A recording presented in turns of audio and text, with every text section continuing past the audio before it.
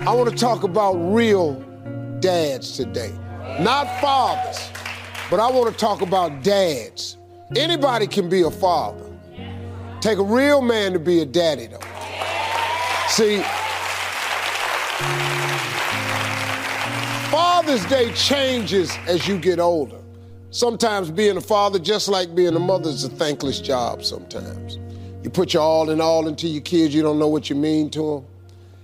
And then, uh, you know, as you get older, you know, when you're a kid, you don't necessarily understand or even appreciate what your dad is trying to do for you. But it's only when you get older, you step back, you move out the house, maybe even start a family on your own, you start to really realize, man, what that man meant to me, my dad, what he tried to teach me, all the lessons. You just want to be appreciated.